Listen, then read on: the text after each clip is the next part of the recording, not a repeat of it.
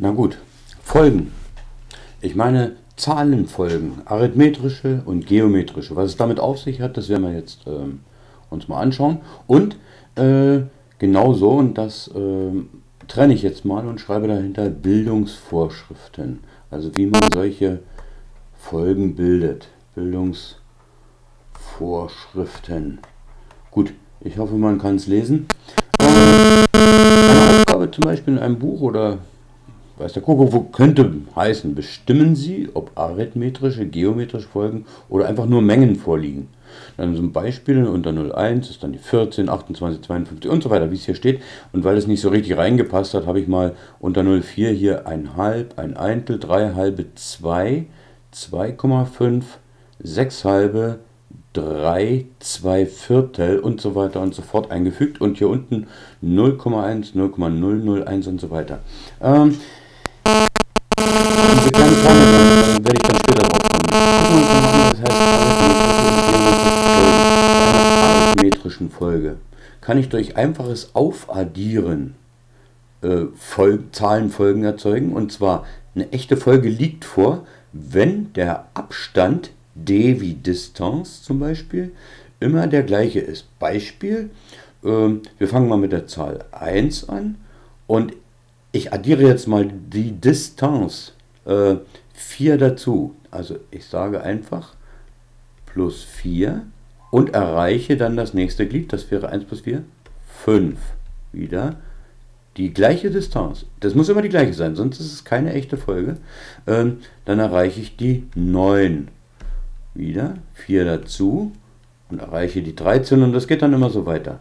Das heißt also jetzt nochmal kurz unterlegt, das hier sind diese einzelnen Glieder dieser arithmetrischen Folge. Arithmetrisch nochmal, deswegen, weil ich durch Addieren, ich mach, highlighte das mal, diese, einer gewissen Distanz, die muss immer gleich sein, immer, die, äh, immer bestimmte neue Glieder der Folge erreiche. Ähm, mal ganz nebenbei, damit man kennzeichnet, dass eine Zahlenfolge ist, sagt man, das sei Glied A1, A2 und so weiter, A3, A4 und das geht so weit bis zu AN. A4 und jetzt sagen wir dann, kommen noch mehrere und dann deutet man Punkte an und sagt man, wenn meine Folge zu Ende sein soll, bis zum so und so vielten Glied, meinetwegen bis zum hundertsten oder tausendsten oder milliardsten oder sonst was, äh, dann heißt das n wäre dann eine Milliarde oder nur 100 oder je nachdem, so weit wie ich kommen möchte. Und jedes Mal ist diese arithmetrische Folge dadurch gekennzeichnet, dass immer die gleiche Distanz d, hier, d, dazu addiert wird. Das ist immer das gleiche d, immer das gleiche, das gleiche, das gleiche, das käme dann auch hier dazu und so weiter, bis zum letzten Glied. So, und jetzt gucken wir uns das an.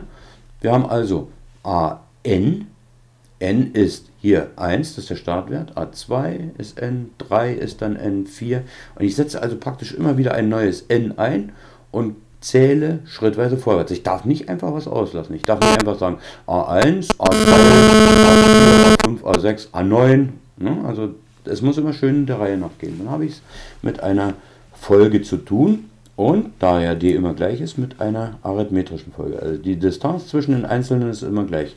Jetzt gucken wir uns mal, äh, gucken wir uns mal in der Formelsammlung was an. Und zwar steht hier, an ergibt sich aus a1, das ist der Startwert, da fange ich an, plus d, wie die Distanz, mal in Klammern n minus 1. Wie das dann funktioniert, oder Folge. Also hier haben wir es das wäre eine arithmetrische Folge. Ich kürze mal ab, Arith. Ähm, dann haben wir hier eine andere Variante, also das, die funktionieren beide. Wie die dann heißen und so weiter, komme ich dann drauf.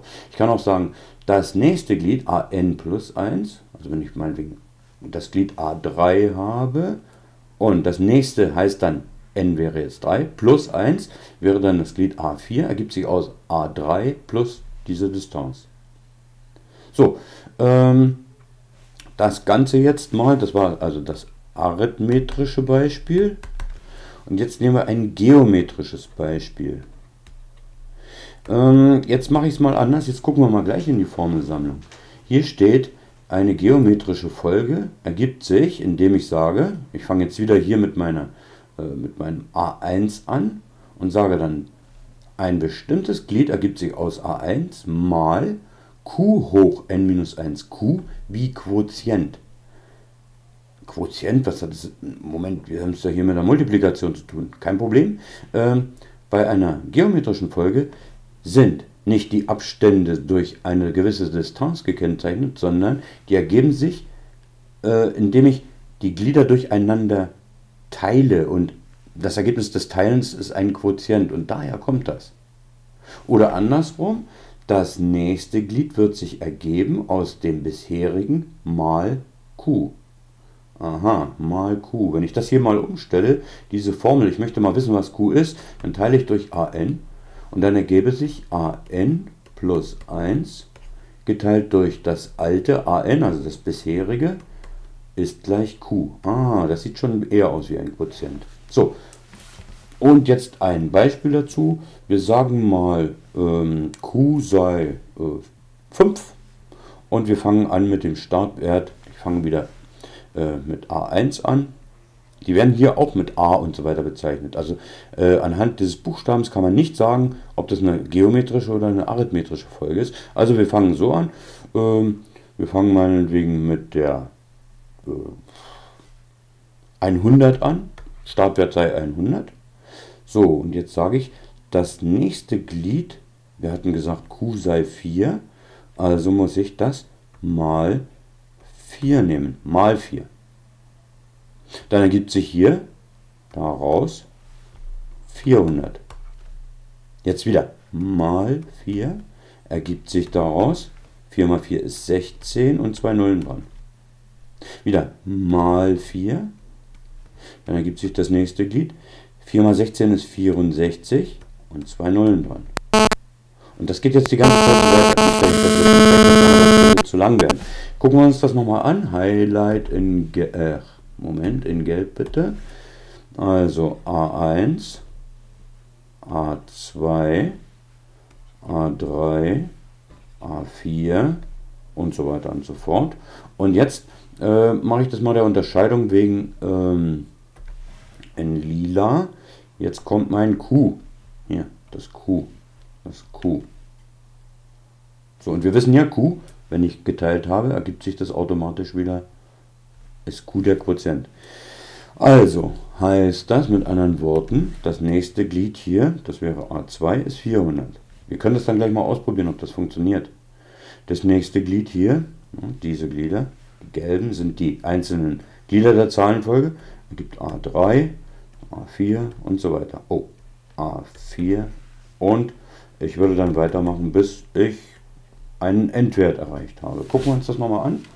Probieren wir das mal aus, ob an plus 1 durch n gleich q ergibt und ob der Abstand immer der gleiche ist. Also, wir sagen a4 durch a3, also 6400 geteilt durch 1600. Das sollte, hier die Nullen kann man wegstreichen, ich kürze durch 100, und 64 durch 16 ist 4. Wir probieren das aus, ob das stimmt für äh, A2 und A1. Also sage ich 400, das ist A2, hier, dieses A2. Das ist also der Schritt weiter als A1, äh, geteilt durch 100. Gucken wir uns das an. Jawohl, passt, ne? das ist 4.